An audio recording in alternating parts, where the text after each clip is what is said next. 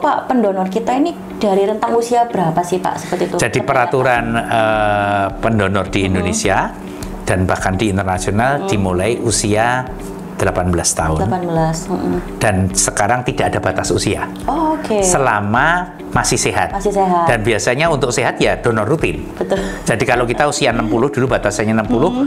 uh, tidak pernah donor ke PMI donor ya kita tolak. Oh iya. Karena akan membahayakan tubuh. Hmm. Jadi segala sesuatu itu kan bisa karena terbiasa. Hmm. Hmm. Jadi kalau tubuh kita sudah biasa donor sejak muda, otomatis uh, semua apa organ tubuh kita ini juga sudah terbiasa untuk menggantikan darah yang diambil, hmm. yang didonorkan, hmm. sehingga kembali normal kembali selama dua bulan itu hmm. melalui proses. Jadi uh, kami selalu diberi ditanya pada beberapa orang pendonor, hmm. kenapa Pak kami kalau donor rasanya jadi enak dan segar?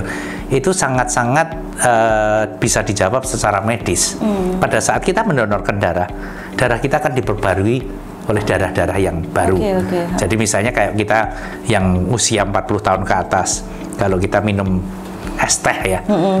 terlalu manis misalnya uh. atau terlalu uh, kental. kental. Pada saat kita minum sebagian kita tambah air, -uh. kan jadi normal. Betul. Dan iya. tubuh jadinya rasanya jadi nyaman karena apa-apa parameter yang agak tinggi misalnya uh, kolesterol apa apa karena diambil sebagian darahnya digantikan darah baru yang lebih mm -hmm. uh, tidak ada penyakit, tidak ada maksudnya uh, parameter yang tinggi kita jadi nyaman. Mm, gitu. Benar-benar Pak.